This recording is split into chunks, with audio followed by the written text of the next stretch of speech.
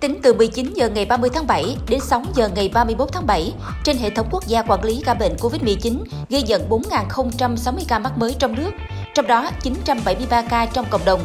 Đã có gần 6 triệu liều vaccine được tiêm.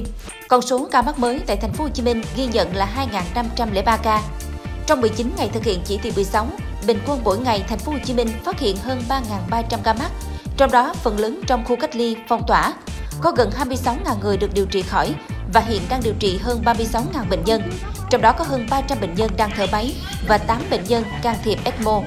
Thành phố sẽ tập trung điều trị F0 nặng có bệnh nền, đưa hệ thống oxy dòng cao vào sử dụng sớm, tránh chuyển biến nặng.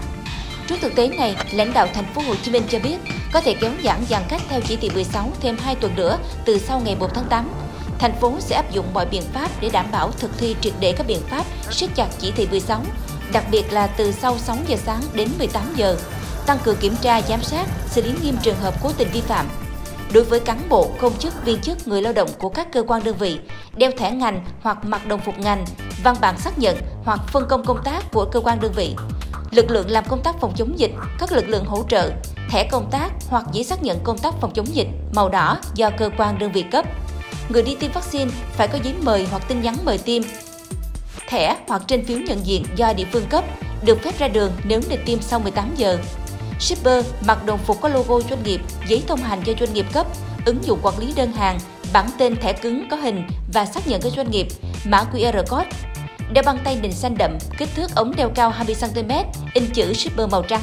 Chỉ hoạt động từ 6 giờ đến 18 giờ mỗi ngày và nội quận.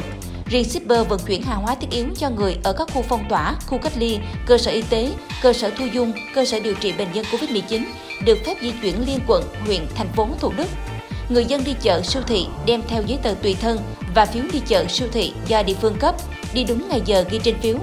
Xe chở hàng hóa thiết yếu, xe đưa đón lực lượng phòng chống dịch và những xe được phép hoạt động được nhận diện theo quy định hoặc đã đăng ký với các sở, công thương, giao thông vận tải, y tế thành phố.